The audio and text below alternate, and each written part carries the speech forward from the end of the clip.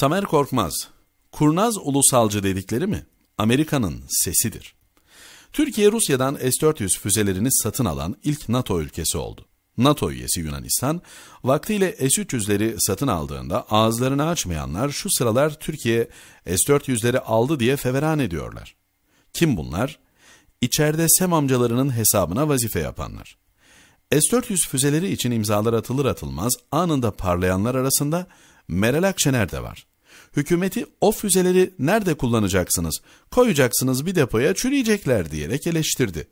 Tam da burada Meral Akşener'in şu Pensilvanya Partisi'nin programında NATO'ya bağlılık vurgusu yapıldığını hatırlıyoruz. Meral Hanım'ın FETÖ'nün 15 Temmuz'daki darbe kalkışmasının perde arkasındaki NATO'ya, Amerika'ya karşı şimdiye kadar hiçbir olumsuz cümlesi yahut zerre miskal eleştirisi yok. Meral Akşener bağımsız Türkiye'ye karşı Amerika'nın sesidir. Böyle olduğu için Rusya'dan satın alınan S-400'lere karşı çıkıyor. 2017'nin son ayında Amerika'da yayınlanan Politico dergisi, dünya siyasetinin çehresini önemli ölçüde etkileyeceğini düşündükleri isimlerin yer aldığı 2018 listesini açıklamıştı. İşte bu listede Meral Akşener 13. sıradadır. Politico, kurnaz ulusalcı diye tanımladığı Akşener'in yeni kurduğu İyi Parti ile Erdoğan'a karşı Türkiye'nin muhalefetini yeniden canlandıracağını işaretlerken bir yandan da temennisini dile getiriyordu.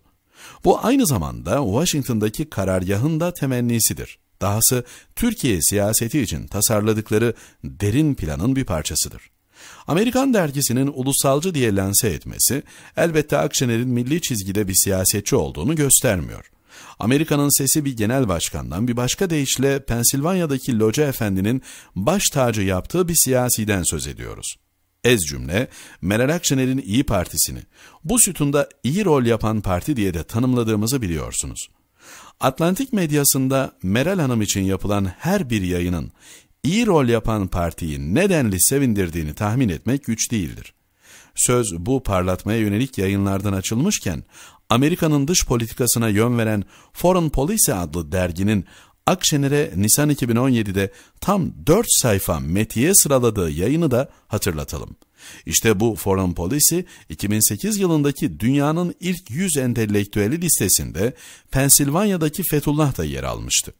Vaktiyle Hoca Efendi'yi herkes anlayacak, ne mutlu onu şimdiden anlayana diye konuşan Meral Hanım'dır.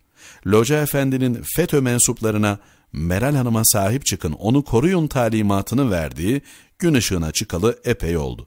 FETÖ'nün 15 Temmuz'daki darbe teşebbüsünün ardından haftalarca sesi soluğu çıkmayan da Akşener'dir. FETÖ'cü kaçaklardan CIA elemanı Emre Yaramaz, geçenlerde Twitter'da dünyada Umut Merkel, Türkiye'de ise Erdoğan'ın zulmüne diktasına karşı Umut Meral diye yazdı. Meral Akşener FETÖ'nün canla başla desteklediği Cumhurbaşkanı adayıdır. FETÖ'cüler 2014'teki Cumhurbaşkanlığı seçiminde de Meral Akşener'i aday olarak görmek istiyorlardı. Örneğin 19 Temmuz 2013 tarihinde CIA'in çocuğu Emre Meral Akşener'le Twitter'da yazışırken ağzındaki baklayı çıkarmış ve Cumhurbaşkanlığına adaylığınızı açıklasanız daha pozitif olurdu demişti. Meral Akşener istediği kadar rol yapsın, hakikatin üzerini örtemez. Tamer Korkmaz, Yeni Şafak